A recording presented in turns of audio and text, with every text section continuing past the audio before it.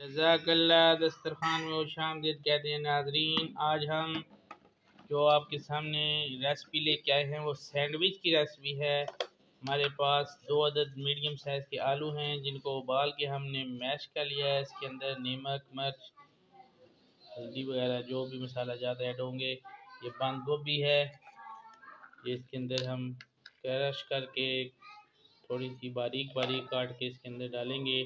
और ये टमाटर है, हरी मिर्च है, ये दरदरी मिर्ची हमने इसके अंदर तकरीबन हाफ़ टी स्पून ऐड की हैं और हाफ़ टी स्पून नमक ऐड किया है। इसके अंदर और जो गर्म मसाला और जितने भी मसाला जाते हैं वो ऐड करते हुए आपको दिखाएँगे। ये खुश्क धनिया है, पिसा हुआ, ये इसके अंदर जाएगा। ब्रेड आपको तलते हुए दिखाएँगे, इसको स्लाइस बनाते हुए दिखाएँगे। जजाकल्ला चैनल देखते रहें, ये गर्म मसाला है चुटकी भर इसके अंदर ऐड हो गया है। माशाल्लाह आप ये मसाला ज़्यादा इसके अंदर अच्छी तरह मिक्स करेंगे। पहले टमाटर को बारीक चॉप करके इसके अंदर हम ऐड करेंगे।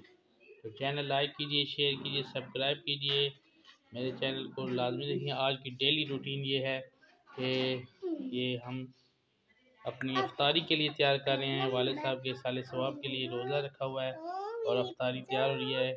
वालदा मोहतरमा, ये हमारी मदद फरमा रही हैं। अल्लाह इनको जजा खैर फरमाए जजाक अल्लाह चैनल देखते रहें। माशा यहाँ मेरी बेटी फातमा ज़ारा भी है। माशाल्लाह। सैंडविच खाना है आपने? दिया खाना है? अल्लाह माशाल्लाह, इस तरीके के साथ सैंडविच तैयार हो रहा है हमारा। बंद गोभी, कद्दूकश हम निकाल लिया कटर की मदद से।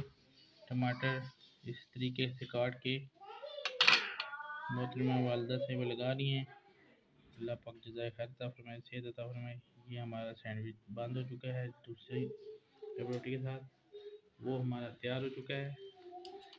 ये देखें, कितना खूबसूरत कलर आया है। दो अदर सैंडविच तैयार हो गया। हल्की आँच पे हमने इसको पकाना है, ज़्यादा तेज़ आँच नहीं करनी, हमारा सैंडविच जल ना जाए। जजाकल्ला खूबसूरत तैयार हुआ है माशा ज़रूर ट्राई कीजिए, नौ में याद रखिए। जजाकल्ला चैनल देखते रहें सब्सक्राइब करें लाइक करें शेयर करें।